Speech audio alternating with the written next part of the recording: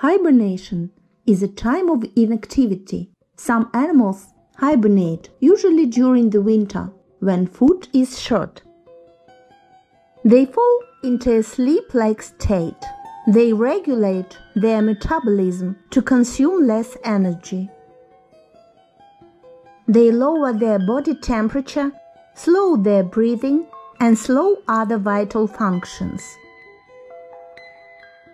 During hibernation, the body uses fat for energy, which the animal has gathered in summer and autumn. They hibernate from the end of autumn to the start of winter. Animals try to eat as much as they can to increase the fats in their body.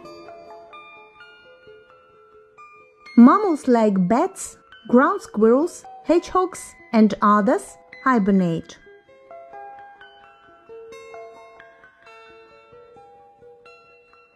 Hedgehogs are nocturnal animals and they hibernate between November and March. Bears usually hibernate in winter. During this time, the body temperature of bears decreases. When hibernation is over, the bear's body temperature returns to normal.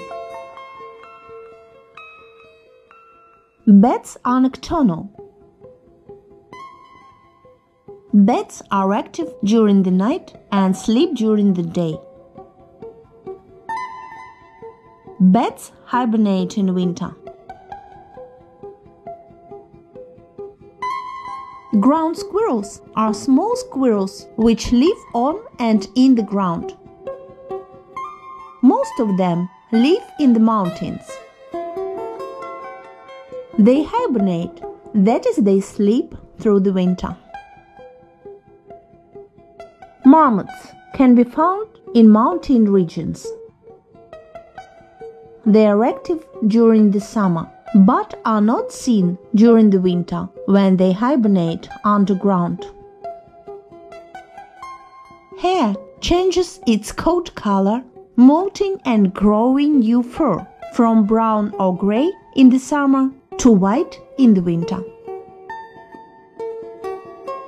Like some other animals, enabling it to remain camouflaged as the environment changes.